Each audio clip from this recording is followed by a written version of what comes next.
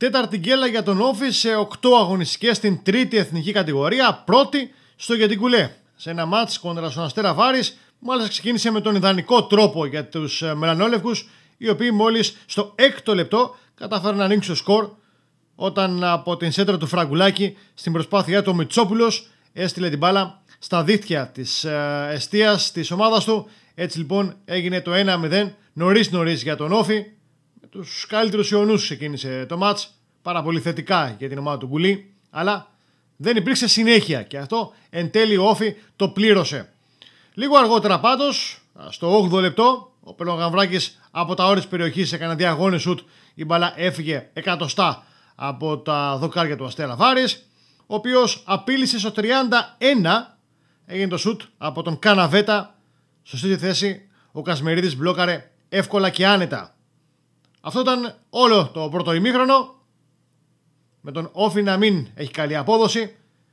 Κάτι το οποίο συνεχίστηκε και στην ε, επανάληψη. Στο 49 πρώτη απειλή από τους ε, παίχτες του Αστέρα. Η κεφαλιά έφυγε έξω. Καλή φάση για τον ε, Όφη στο 57. Η σέντρα του Πατινιώτη από τα δεξιά. Η κεφαλιά του Σαχινίδη. Η μπάλα έφυγε out. Στο 61 ο Όφη κέρδισε και αποβολή του Βασιλείου. Δεύτερη και την κάρτα για σκληρό μαρκάρισμα πάνω στον Περογαμβράκη. Ο Όφη όμως έμεινε σε αυτό το υπέρ το αποτέλεσμα και στο αριθμητικό πλεονέκτημα και δεν παρουσιάστηκε όπως έπρεπε για να εξασφαλίσει την νίκη του. Στο 78 είχε ένα καλό σου του φραγκουλάκι μπαλά. Έφυγε έξω από την ε, αιστεία του Μαρινάκη. Ο Αστέρας δεν τα παράτησε. Στο 79 είχε μια στιγμή.